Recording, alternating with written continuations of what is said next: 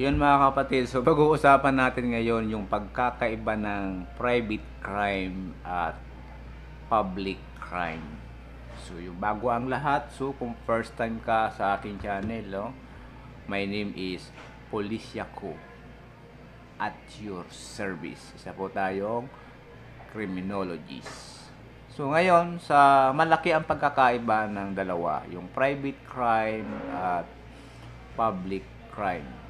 So, ano ba ang example ng private crime? Ang magandang halimbawa nito ay yung kasong concubinage or adultery kung babae. Kasi ang private crime, ang pwedeng magdemanda dito, siyempre kung, kung, kung adultery, ang pwedeng magdemanda ay yung asawa lamang na lalaki hindi pwedeng sino man. Yun po ang example na malinaw ng private crime. Kaya nga private tinawag. So, ngayon, ano naman ang public? So, napakaraming public crime. So, anong ano ang sequence ng public crime? Anong example? Kapag yung ang title niya, kung sa kaso, ah, People of the Philippines versus Juan de la Cruz. Public crime yun. Example, uh, stapa, theft, o large scale stapa. So, bakit pagka ganito, ano, gaano kahirap kapag public crime? Sa public crime po kasi, lalong-lalo na kapag heinous yung crime or capital offense, at kahit na yung complainant ay gustong makipag-settle, na-settle na ng na-settle na yung complainant. Since na yung mga public tulad ng police or piskal pwede sila na mismo ang magdemanda. O, o kaya hindi sila papayag na i-dismiss yung kaso kahit pumapayag na yung complainant. Kaya medyo mahirap dito lalong-lalo na kapag heinous crime ang settlement. Kasi yung aayusin ng respondent hindi lang yung mismong complainant, pati yung police, yung piskal, yung judge ay kung papayag ba sila na i-dismiss yung kaso or arigluhin yung kaso. Kapag hindi nangyari yon so walang kwenta, mawawalang saysay ang pag-aayos o pagkikipag-settle mo doon sa complainant as a, ano ah, as a respondent. Wala akong silbi yon Kasi kailangan mong kailangan pumayag lahat ng panig hindi na sila magdidimanda. Eh yun po yung consequence ng public crime. Unlike noong private crime na kapag isa lang ang kalaban mo, yung mismong nagko-complain lang.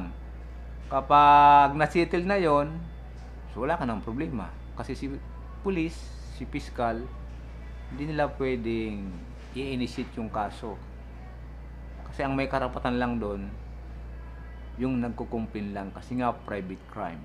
So yung yung pagkakaiba ng dalawa. So napakaraming example ng private crime. Napakaraming lalong-lalo na yung public crime. Yan po yung dalawang pagkakaiba. Malinaw po tayo ha. Sa mga penalty naman, sa bawat kaso, sa bawat category may kanya-kanyang penalty yan. Depende na lang sa apik sa effect or sa consequence kung sa istapa sa amount.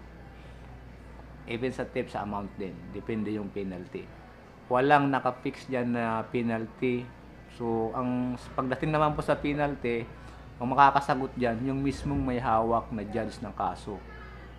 Sila lang ang mayroong karapatan. Sila lang ang pwedeng sumagot kung ano ang pwede nilang ibigay na penalty. Sa mga nagtatanong regarding sa penalty at fine, do, yun lamang pong may hawak na kaso ang pwedeng sumagot doon sa tanong nyo na kung gaano katagal ang sentensya ng kaso, gaano kamahal, gaa, magkano ang fine ng kaso.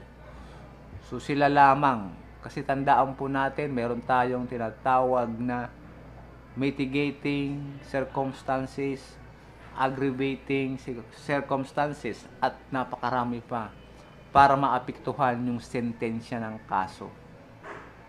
So yun po ah, sa mga nagtatanong, gaano katagal? Another question, gaano ba katagal matatapos yung kaso? Napaka, ang dami na hong nagtanong niyan. At wala akong may sagot na kung hanggang kailan. Kasi, again, ang tatapos ng kaso niyan ay yung lamang court na may hawak. Kahit mismong abogado nyo ay hindi, kay- hindi kayo masasagot kung kaano siya katagal. Kasi depende rin yan sa court kung kailan nila tatapusin yung kaso. Hawak nila yung sequence niyan, yung circumstances. Maraming makakaapekto kung kailan matatapos yung kaso. Ayan po, so hindi na natin pahabain. Yan lang, sana po ma lugod yung naunawaan yung pagkakaiba ng private crime at public crime. So ngayon, kung may mga agaran kayong tanong regarding sa crime or crime assistant, so mag-PM, huwag kayong mahiyang mag-PM sa ating messenger, police ako. At siyempre, ah, kung gusto mo to at nakatulong sa YouTube channel na to, so pwede kang mag-subscribe. Pwede kang mag-like or dislike kung ayaw mo naman. O para sa ating improvement, mag-comment po kayo sa comment box natin kung ano pa ang pwede nating gawin. So welcome po ang ating channel sa inyong ah, opinion. Kung ano man ang pwede nyong i-correct or for improvement. So wag ho kayong mahiyang i-comment dyan. So welcome. Tanggap po natin yung ating pagkakamali at lalong-lalo na maraming salamat sa magsasuggest kung ano ang kailangan pa nating i-improve sa ating channel at sisikapin natin no base sa ating makakaya at base sa ating mga tools na kakailanganin at again my name is Pulisya ko at your service at muling nagsasabi no hindi po lahat ng criminologists ay nagpupulis yung isa ay andito sa YouTube at your service.